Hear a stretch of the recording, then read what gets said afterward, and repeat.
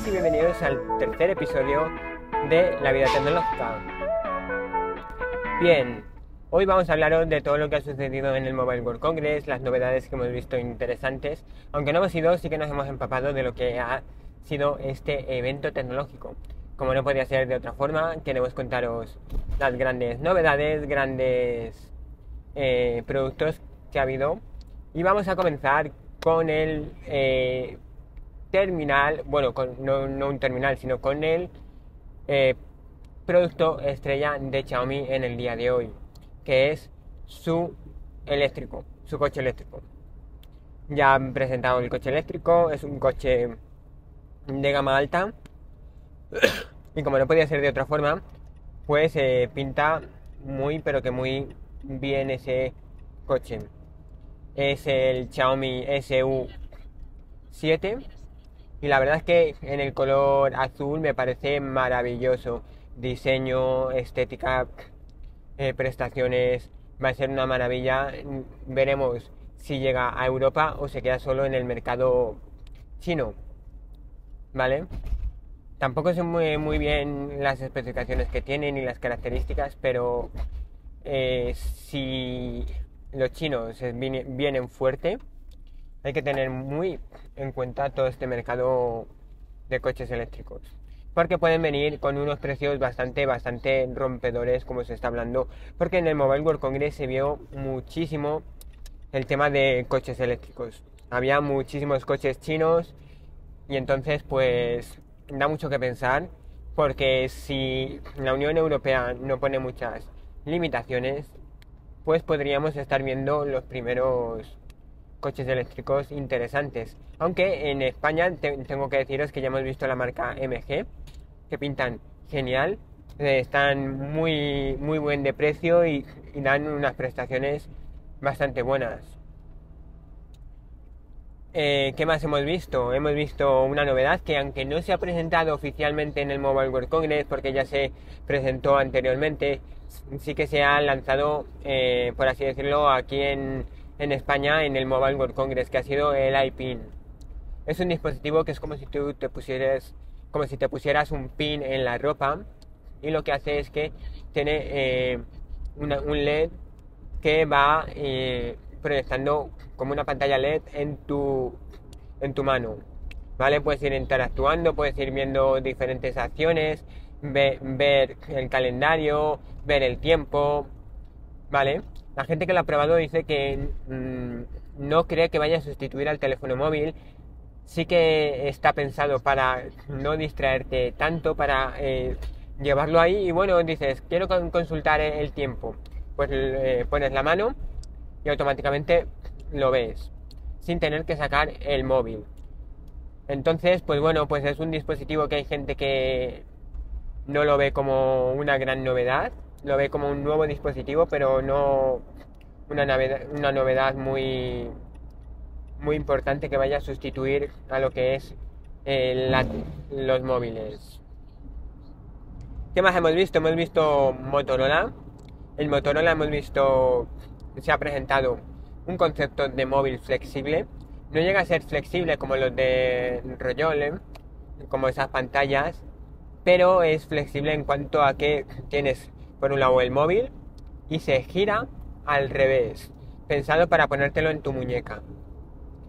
¿Qué ventajas tiene esto? Pues de momento no le veo ninguna ventaja porque os recuerdo que no sé si aquí en YouTube lo tenéis, pero sí os voy a dejar la entrada en la descripción, os voy a dejar el contenido, ¿vale? Porque sí que en mis redes sociales, en Instagram lo tenéis, el contenido que grabé del Nubia Alpha. No sé si alguno se, se acuerda del Nubia Alpha, recuerdo que fue en el Mobile World Congress de 2019 donde eh, lo, vimos, donde pude, probarlo. El Mobile World Congress de 2019 fue el último que se hizo antes de la pandemia. Fue súper interesante.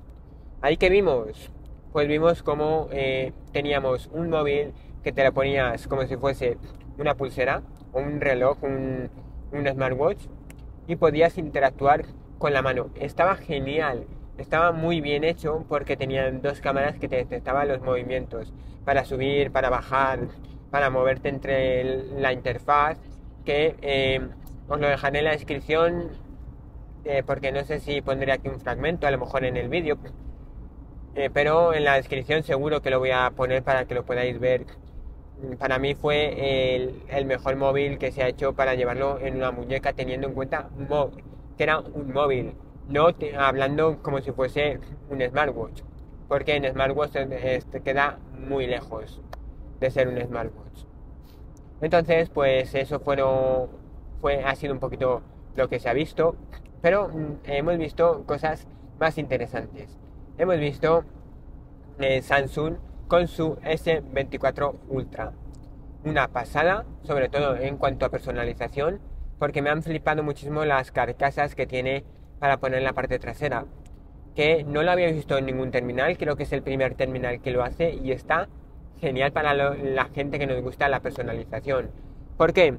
Te cuento muy rápido y muy breve lo que, lo que es.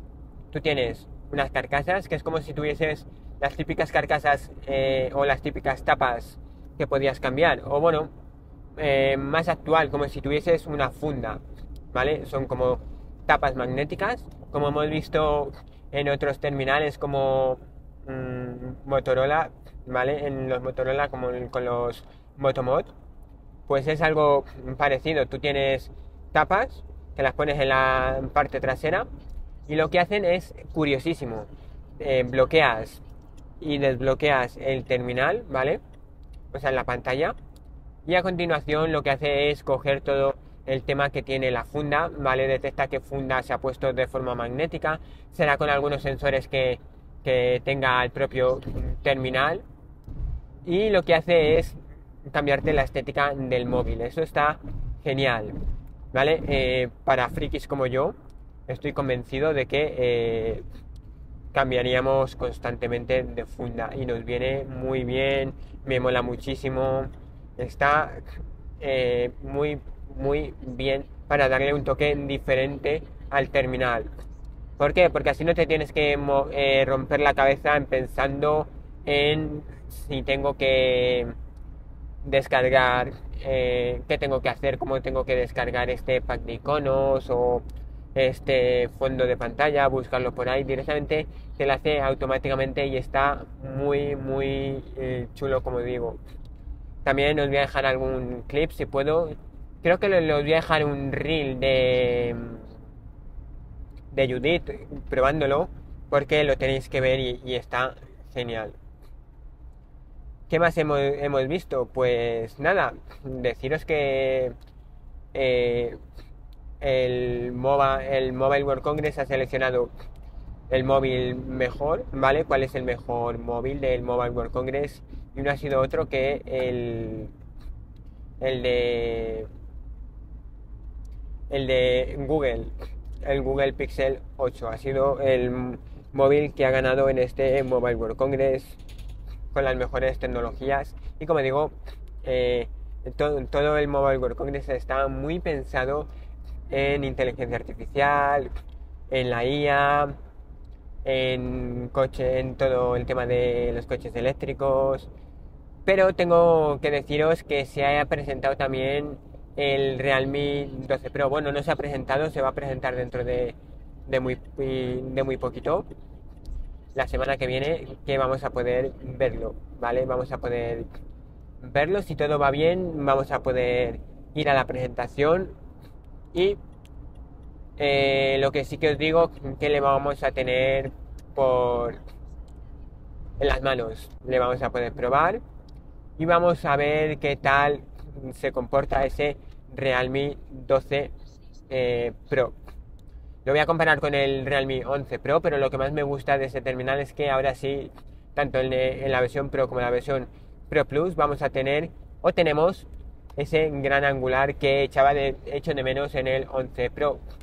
Que bueno, eh, le puedo echar de menos, pero como os he enseñado ya en algún vídeo, en un reel que, hice, en una prueba de grabación en gran angular, pues eh, tengo una lente gran angular que la coloco y me permite poder seguir eh, grabando como si tuviese esa lente gran angular del 11 Pro Plus. Y bueno, como última novedad de este podcast que es un poquito así cortito porque simplemente quería eh, contaros un poquito las novedades del mobile. Pues deciros que se ha presentado uno de los móviles top de este año, uno de los móviles gama alta más increíbles que vamos a poder ver en este 2024, que es el Honor Magic 6 Pro. Yo todavía tengo por casa el Honor Magic 6 Lite y la verdad es que lo que han hecho con el diseño me parece una pasada.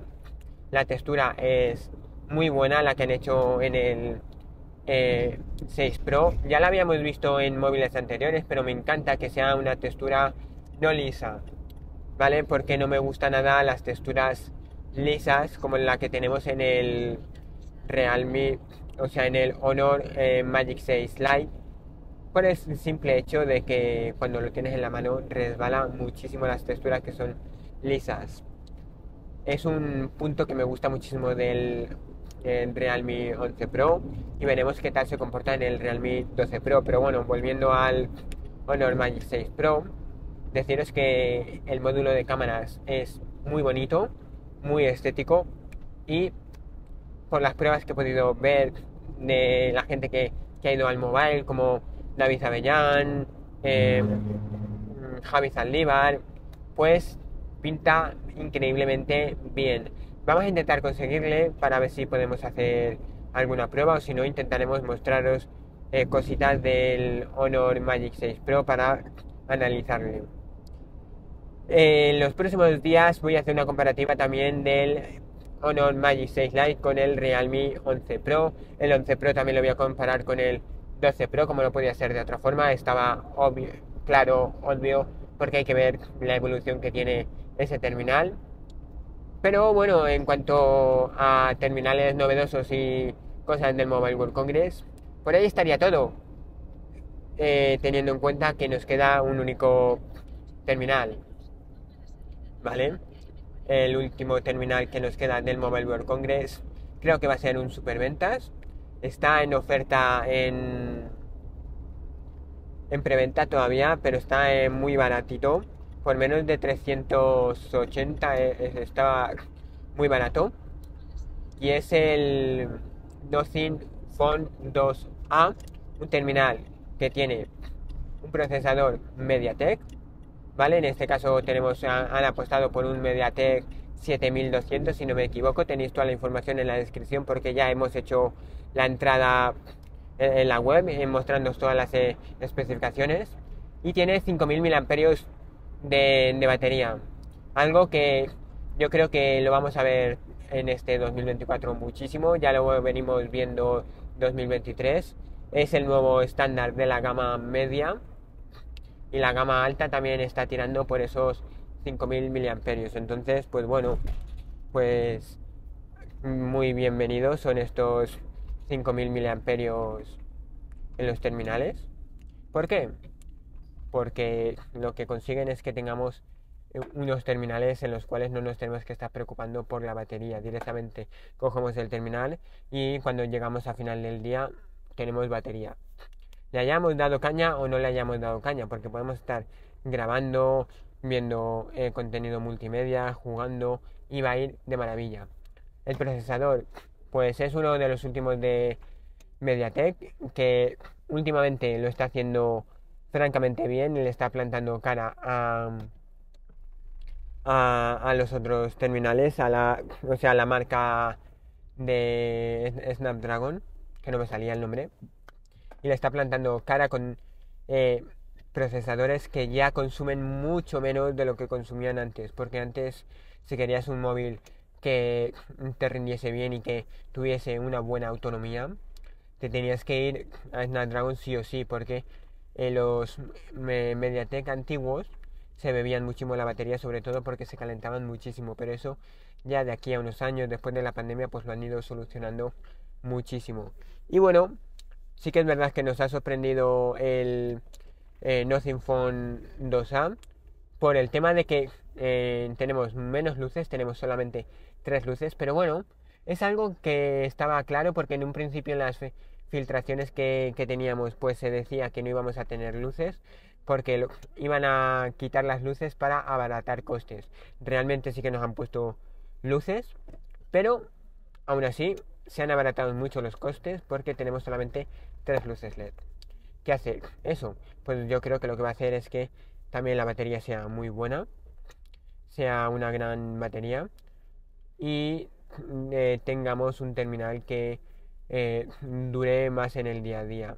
También me gusta mucho el módulo de cámaras que han puesto con dos cámaras que tienen pinta de ser de lo mejorcito de la gama media en el día a día de hoy.